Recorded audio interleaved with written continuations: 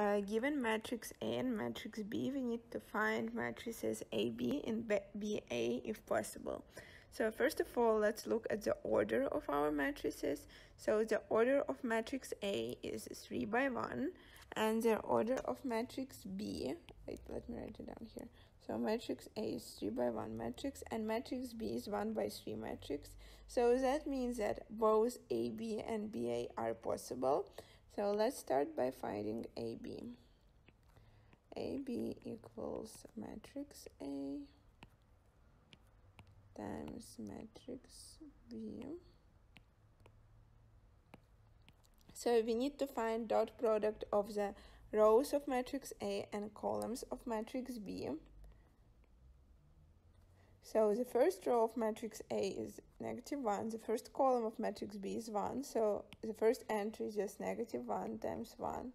Next entry is negative 1 times 2, then negative 1 times 3, negative 2 times 1, negative 2 times 2, negative 2 times 3, negative 3 times 1, negative 3 times 2, and negative 3 times 3.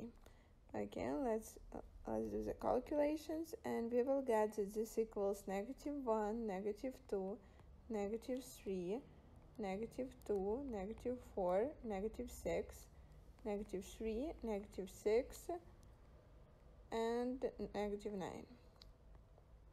So this is matrix AB. Now let's find matrix BA. Uh, so matrix BA equals matrix B times matrix A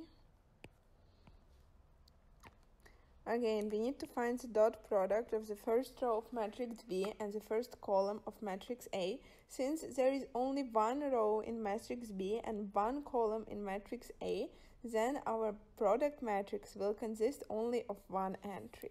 So here we can basically we can find only one dot product and this one dot product will be one single entry.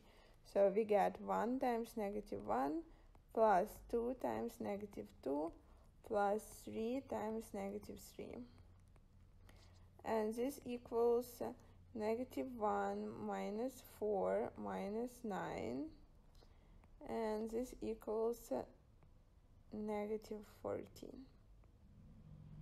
so yes this is matrix BA it has it is one by one matrix